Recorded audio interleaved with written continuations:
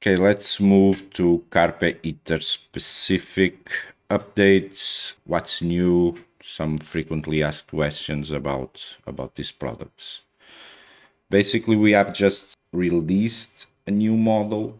We actually been shipping out uh, this version for like one month, uh, but officially we just announced it like uh, two days ago, and we are calling it V4B uh, which is this unit you see here. We are not going to call it V5 because it's pretty much the same unit as the V4 uh, with only two small differences. The first one is the GPS chip.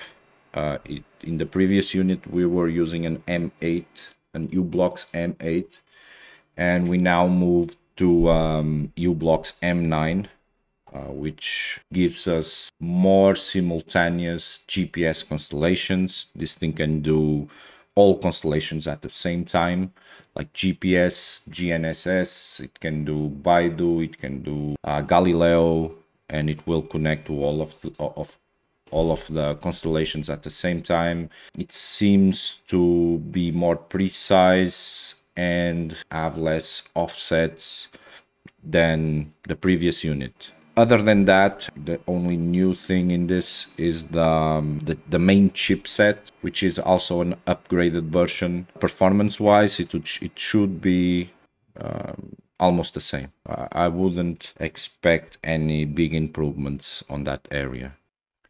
Okay, so if you want to be certain about what version of the tablet you have, one of the easiest ways is to go to the Android settings you can scroll down, click on system, then scroll down and you will see about device. And now on the bottom, you have this thing called build number. So for the V4B, the build numbers are Carpe V4B. So this will tell you that you have a V4B. Okay, so for for your information, if you have a v, V4B but the build number is JKR01, there is already an upgrade for the 02.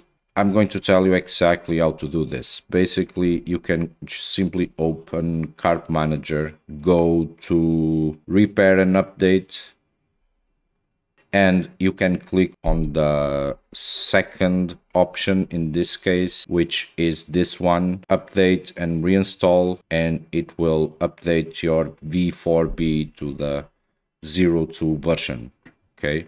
Although of, of officially we are still showing that the latest version is the 01 you can and you should actually update to get the 02 because the 02 includes some GPS optimizations like 5 Hertz, GPS speed, and Assist Now, uh, which are really good stuff. And they are now also available for the V4B with the u-blox M9 chip.